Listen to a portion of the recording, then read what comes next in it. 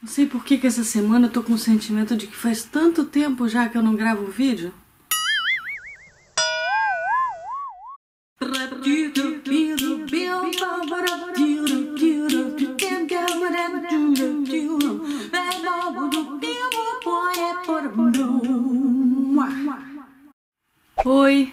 Essa música que eu quero mostrar para vocês hoje é uma música que tem um valor sentimental para mim muito grande. Eu tinha até pensado de deixar ela para fazer com algum convidado, de chamar algum amigo para tocar o violão para mim. Eu sempre acho que outra pessoa toca violão melhor do que eu. Isso é uma coisa fato. Mas aí eu pensei de novo e pensei, quer saber?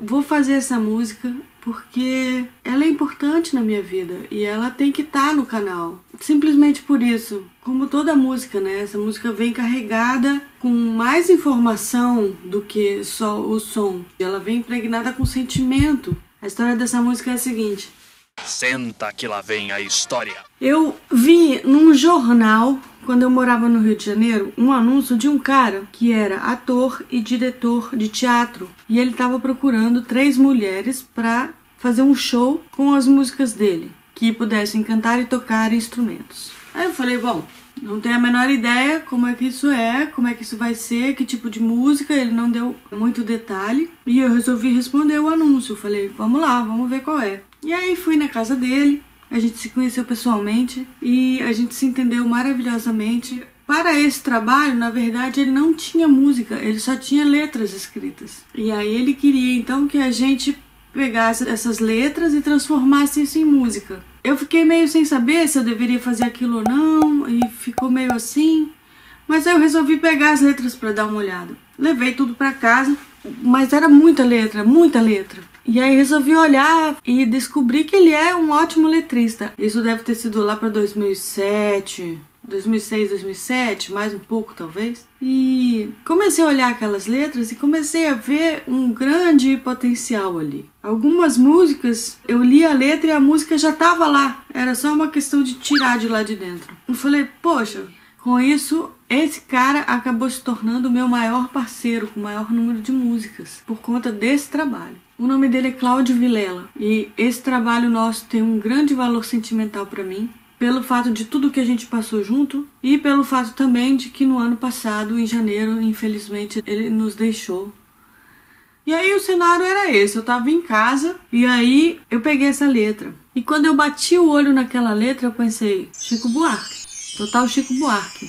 Então ele foi a minha grande inspiração para essa música. Eu acho assim que eu não usei exatamente uma música para para para me inspirar diretamente, mas usei várias influências do Chico Buarque. Uma delas foi Joana Francesa, outra foi Homenagem ao Malandro, e com isso saiu essa música. Eu considero essa música como sendo uma das melhores músicas que eu já compus. Ah, essa música foi uma música da época que eu tava querendo escrever música complicada. E para escrever essa música complicada, não foi uma coisa que saiu baixou o santo e saiu ali na hora, não foi. Foi um trabalho artesanal, assim, sabe? Baseada na letra, eu fiz primeiro a harmonia e depois a melodia. Foi uma música meio ao contrário. E eu pensei também que essa música tinha duas possibilidades. Uma possibilidade era ser uma valsa choro ou poderia ser realmente um samba lento, como se fosse, sei lá, um samba do Paulinho da Viola, alguma coisa assim.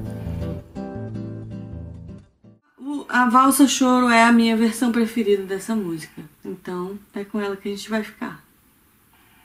É uma coisa muito diferente quando você recebe uma letra e aí em cima daquilo que já está escrito no papel, já tem um negócio concreto ali. E aí você pega essa letra e você pensa, o que que essa letra está querendo dizer? Como é que eu vou colocar isso em forma de melodia? Para mim isso é mais difícil do que ao contrário. Uma letra que fala sobre relacionamento amoroso e eu vou ter que cantar a música agora para descobrir sobre o que que ela fala, porque eu lembrei, mas eu não lembrei mais. Eu sinto essa música com muita mágoa, carregada de ressentimento, de um coração realmente quebrado, partido. E também com uma letra falando em Leblon, Leblon, Chico Buarque, tudo a ver, né? E sempre que eu toco essa música, eu sempre vejo um tom azul, um azul em degradê,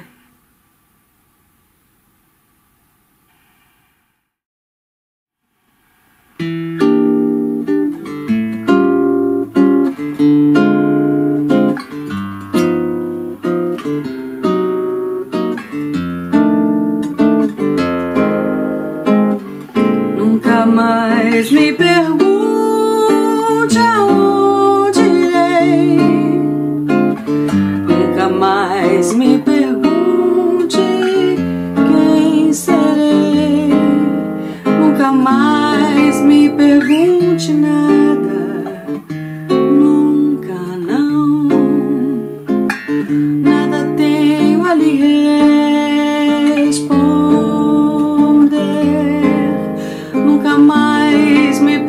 Pergunte nada. Nunca não. Nada tenho a lhe responder.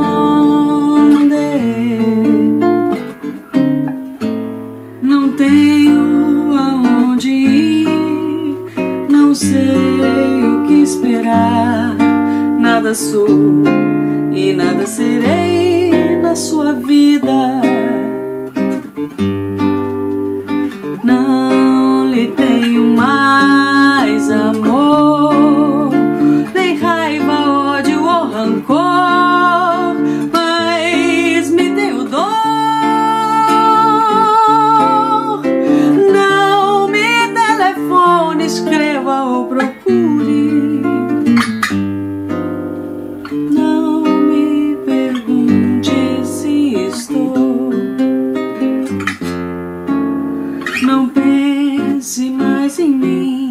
Nas noites quentes aí do Leblon.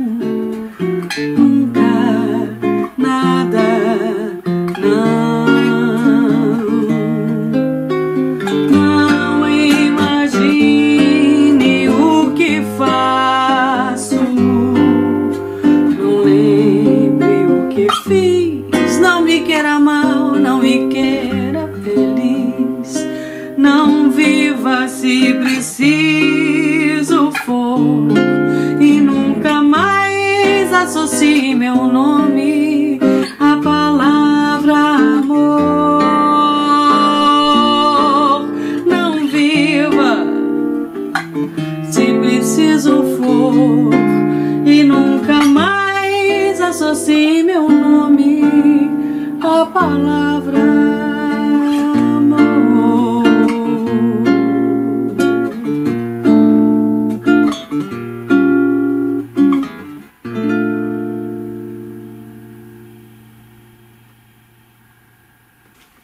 Aí, gente. Espero que vocês tenham gostado. Muito obrigada pela audiência. Não se esqueça de se inscrever no canal. E volte sempre. Semana que vem tem mais. Tchau!